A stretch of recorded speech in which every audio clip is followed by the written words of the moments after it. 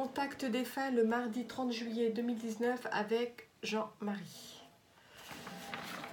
Alors, attendez, je ferme ma fenêtre parce qu'il y a du bruit extérieur. Voilà.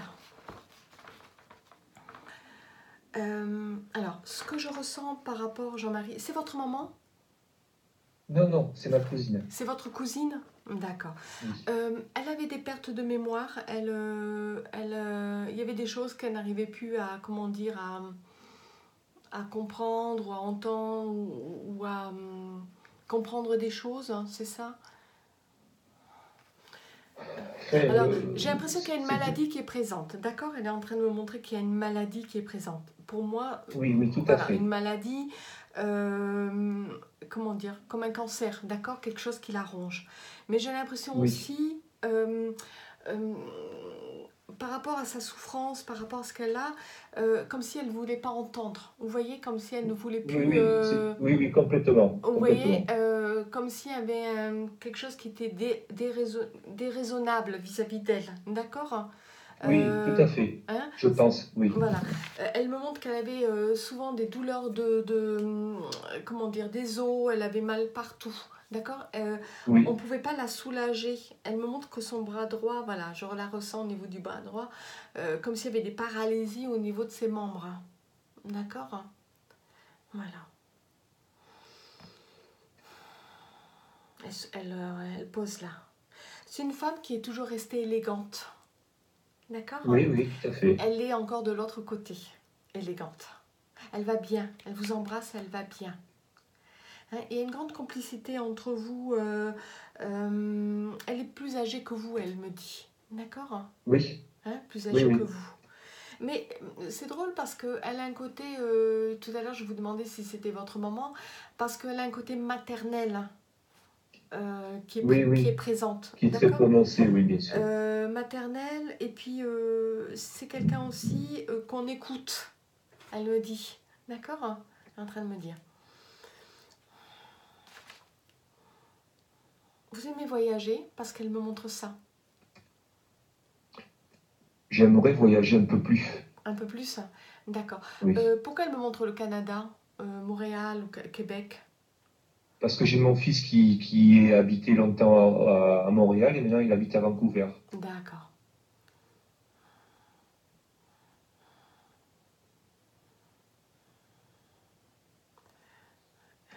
D'accord.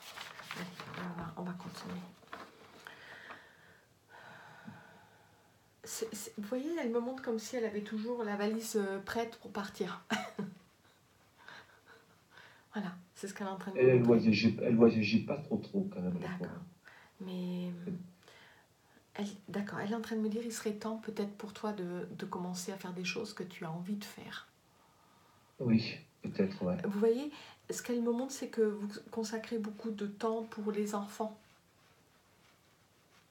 Euh, beaucoup de choses pour les enfants et du coup, euh, euh, d'accord, elle est en train de me, d'accord, elle est en train de me montrer comme si il fallait prendre aussi du temps pour vous, de faire des choses pour vous.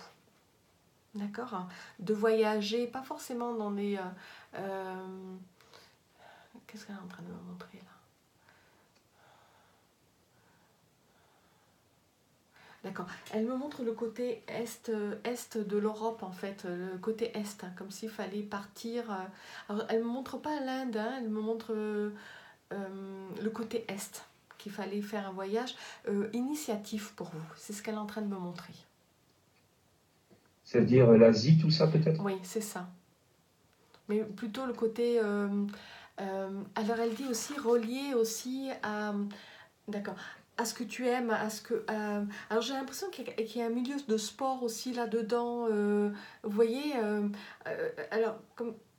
D'accord. Comme si au, Brésil c'est la capoeira, mais en Inde c'est autre chose. En Inde, en Asie c'est autre chose. Comme si il fallait aussi relier le corps, le corps et l'esprit. C'est ce qu'elle est en train de me dire. D'accord. Ok. Vous, vous évadez aussi le besoin de vous évader. C'est ce qu'elle prend de l'air, elle me dit. Prends de l'air. Oui. oui, oui, tout à fait. C'est pas facile, mais il faut le faire. Ouais. Voilà, elle dit. Euh, alors, elle me montre bien que vous partirez à deux. D'accord? Partir à deux. Mais sans forcément avoir tout le monde autour de vous. Elle dit partez tous les deux, elle dit. Elle est, les- expressive, elle est expressive dans ses mains, la façon de parler. Vous voyez? D'accord. Le gestuel de ses mains sont importants. Voilà. Posez vos questions si vous voulez, euh, Jean-Marie. Euh, et, et je partirai à deux. Je partirai avec. euh, euh, ce sera un homme ou une femme? Elle me montre plutôt une femme. Une femme, d'accord. D'accord. Euh, Patricia, c'est qui Patricia? C'est ma femme. Enfin, ouais. D'accord. Elle l'a connue, Patricia? Oui, ça? tout à fait. Elle a bien connu, oui. oui. D'accord. Vous êtes séparés, c'est pour ça euh, aujourd'hui Oui, hein, oui, oui. On, on- on habite toujours dans la même maison parce qu'il y a des soucis de vente et tout ça. Oui, Mais, mais, euh, mais oui, vous êtes, euh, voilà, c'est ce qu'elle est en train de me montrer. D'accord? D'accord. Elle fait comme ça. Vous avez compris. Oui. Et, euh, Dites. pardon, excusez-moi. Allez-y, Jean-Marie, allez-y. C'est un dialogue. Elle a un dialogue avec euh, vous, là. Pardon? Elle veut avoir un dialogue avec vous. Donc elle me montre bien ça. euh, quand elle est partie, il y a quelqu'un qui est venu la chercher. Elle me montre un homme. c'est- C'est un homme qui est venu la chercher. D'accord D'accord? Oui. C'est un homme. C'est un homme que- qui a compté énormément pour elle, elle me dit. D'accord. Un homme, quelqu'un de plus grand qu'elle. D'accord? Oui. Voilà. Sûrement son papa, je suppose.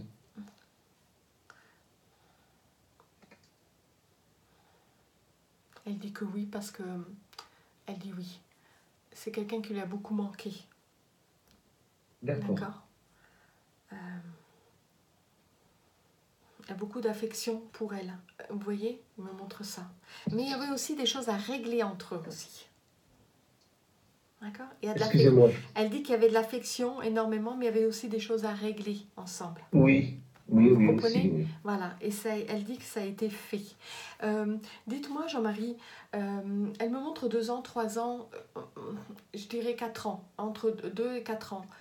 C'est la période qu'elle est partie, votre cousine, ou, ou Non, non, est c'est partie c'est- c'est tout récent. C'est tout récent, c'est au mois de mai. D'accord. Alors, deux, deux, entre 2 et 4 ans, euh, elle a été malade pendant cette période, deux ans en arrière, et après 4 ans, il y a eu quelque chose pour elle? Parce qu'elle me montre, euh, euh, alors 2000, euh, 2000, 2000, 2000, on est en 2019, donc 2017, d'accord? Et 2015. Alors, elle avait toujours des problèmes, vous savez, de jambes, effectivement, de veines, veineux, ce genre de choses, mais. Oui, elle, elle était, elle avait quand même une santé assez fragile, D'accord. euh, mais elle ne faisait pas trop attention. D'accord. Je sais qu'elle voyait quand même des médecins et tout ça. Oui, mais euh, ce qu'elle est en train de me montrer, c'est que euh, c'est pas qu'elle faisait pas attention, c'est qu'elle euh, elle est en train de me dire, elle ne voulait pas se s'esquinter avec des médicaments et que ça, que ça s'aggrave sur d'autres choses. C'était surtout ça. D'accord? D'accord. Euh, D'accord. Elle me dit que son père était aussi comme ça. hein, Il avait aussi une, euh, une, euh, comment dire, une fragilité au niveau de son corps, même s'il était beaucoup plus robuste hein, physiquement. S'il montrait ce côté robuste, c'est quelqu'un qui était, euh, comment dire, qui avait des soucis. Alors je me demande même s'il n'y a pas des soucis génétiques familiales de ce côté, de son côté, euh, de son côté. C'est ce qu'elle est en train de me montrer. D'accord? D'accord. Elle est très posée, hein, votre cousine. Euh, Elle, euh, elle parle. euh, je veux dire, c'est quelqu'un qui aime beaucoup rire. C'est quelqu'un qui adore euh, Oui, faire la fête, euh, euh, être entouré de gens. je veux dire, c'est quelqu'un qui aime pas trop la solitude. Vous voyez, elle Oui, aime être entourée de gens et tout. Et puis après, euh, après, elle me dit, bon, le soir, je m'occupe de moi. Euh, c'est quelqu'un qui va prendre soin de ses mains. Elle, hein, euh, elle va mettre sa petite crème, elle va prendre soin de son corps et tout ça. Extérieur, mais pas intérieur, elle dit. J'ai- loupé cette étape, elle me dit. Oui, oui, c'est ça. Elle faisait pas, voilà, tout à fait. Vous voyez, elle me montre extérieur, c'est important, mais intérieur, elle, euh, elle dit, d'accord, elle dit, il n'y a pas de remède. Elle dit il n'y a pas de remède. En avait un remède, mais elle n'a pas, elle a jamais pu le retrouver, le pauvre, la pauvre. C'est, j'ai toujours, ça a toujours été mon. J'aurais aimé qu'elle retrouve l'amour, enfin, ou le, Ouais. le- quelqu'un qui. Ouais, mais elle dit il n'y a pas de remède. Ouais, ouais, d'accord. D'accord. D'accord. Elle, elle est en train de me dire qu'elle qu'elle va bien maintenant. D'accord? Il faut que vous le sachiez. Elle va bien maintenant. Elle est soignée, elle, est aidée. Il y a beaucoup de choses qu'elle comprend aujourd'hui. D'accord? Euh, votre, euh, votre cousine, elle a un côté un peu, euh, je veux dire, d'accord, elle sourit avec ça. Il faut qu'elle croie en certaines choses. Vous voyez, elle a besoin de croire. C'est comme si elle ne croyait plus euh, donc à l'amour, mais qu'elle croyait plus aux gens. C'est surtout ça, aux hommes. D'accord? Et elle est en train de dire que euh, vous, il faut que vous ayez confiance. Il faut que vous gardiez ce côté magique encore, elle dit, vis-à-vis de vous. C'est pas Hein? facile. Euh, c'est comme si on se, on se, se punissait. Vous voyez ah ben, Puisque c'est comme ça, ben, j'ai plus le droit. Ou, vous voyez, il y a toujours une petite lueur, puis tout d'un coup, vous vous interdisez d'avoir cette possibilité d'avancer. D'accord? Elle dit Oui, tout, oui. tout n'est pas perdu, elle dit. Mais c'est pas gagné non plus. D'accord? Pas vis-à-vis de la personne euh, avec qui vous êtes séparés, d'accord? Parce que, oui, mais tout n'est pas perdu pour le futur, elle dit. ouais. Part que l'âge avance et que je, je, je- c'est pas toujours. Enfin, j'ai du mal à croire à certaines choses. quoi. Vous allez avoir 65 ans? Non, Elle Non, sourit non, avec ça. D'accord? Elle, elle vous embête. Attendez, Oui. deux secondes.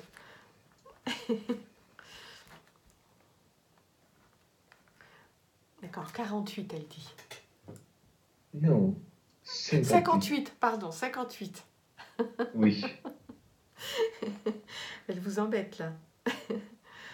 oui, oui, tout à fait, oui. Alors, dans votre... vous êtes toujours jeune, elle dit. D'accord? Oui, D'accord Peut-être pas physiquement, mais jeune, toujours, elle dit. oui. Euh, vous savez, elle est en train de me dire qu'elle cherchait l'amour, mais d'une certaine façon, elle ne la cherchait pas non plus. C'est pas Non, vrai. mais oui, tout à fait, oui, je l'ai bien compris. Voilà, elle cherchait. En fait, elle aurait aimé avoir quelqu'un, mais ne cherchait pas. Elle, elle avait euh, perdu euh, du- ce côté-là, en fait. Et puis, elle dit euh, quelqu'un qui, qui s'occupe de moi. Tu crois que quelqu'un allait s'occuper de moi avec tous mes problèmes, mes soucis? Elle est quand même. Elle dit je suis restée vieille fille. Oui, oui, un petit peu, mais euh, bien sûr que quelqu'un aurait voulu Elle dit je suis restée avec mes habitudes, un peu la vieille fille. Et donc, du coup, elle.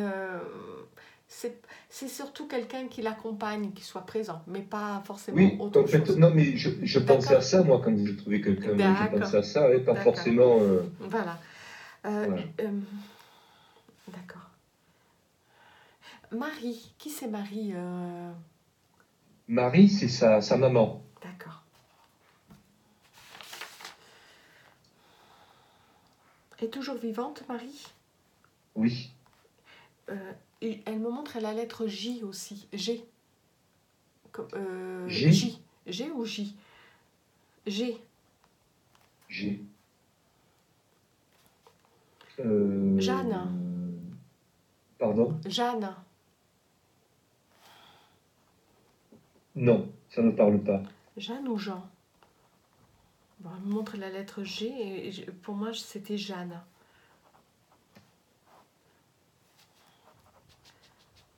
Elle est malade sa maman, euh, Jean-Marie? Oui, elle était malade, elle était ma- mais elle est surtout âgée, puis aujourd'hui, Oui. elle est dans une maison d'accueil. D'accord. Et ma cousine s'en occupait euh, énormément, énormément. Oui. Mais hum, il y a un appel, vous voyez, vis-à-vis de Marie, vis-à-vis d'elle. Parce qu'elle a- Je vous le dis après, à part, d'accord? D'accord. Voilà. Ok, Hein, Et elle est en train de me montrer quelque chose, mais je vous le dirai après. d'accord. Euh,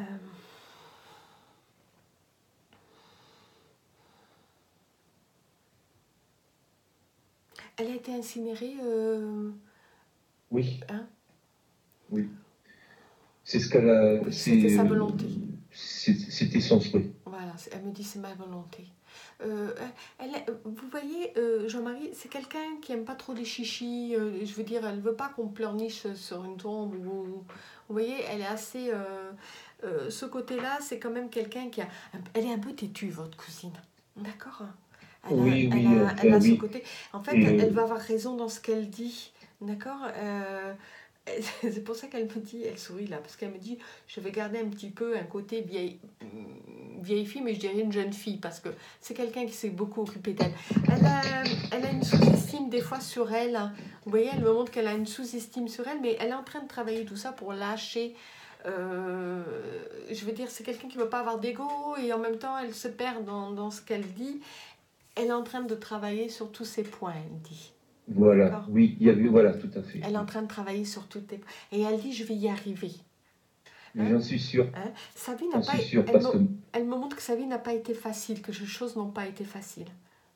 Oui. Voilà. c'est clair, c'est une fille qui s'est toujours battue. Oui. Et, Et euh, elle a été vraiment, souvent battue beaucoup pour les autres. Hein. Voilà. Et, et elle a été souvent abandonnée aussi, elle dit. Mm. D'accord. Trahie, elle me dit. Mm.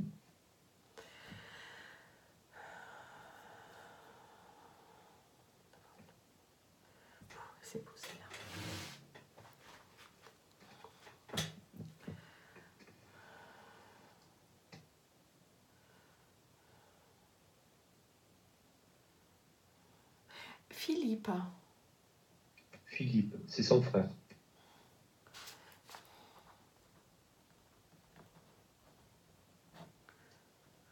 alors Marie-Philippe.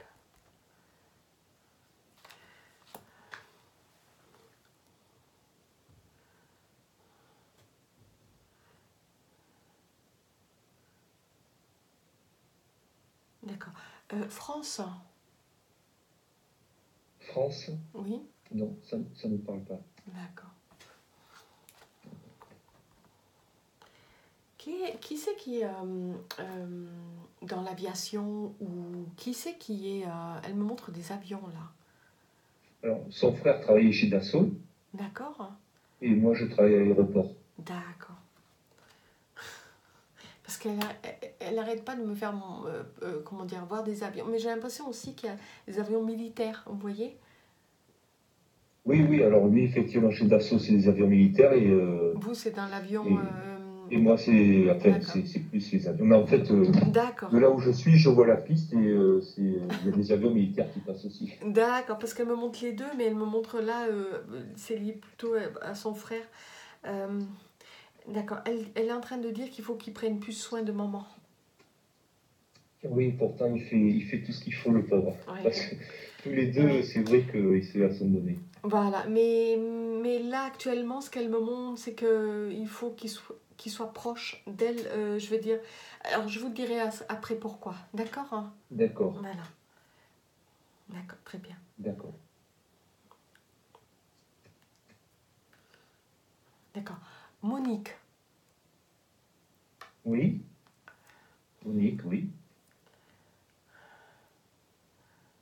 c'est qui pour elle, Monique euh, Monique, Monique, pour elle, je pense que c'est rien. C'est moi, c'est une collègue à moi.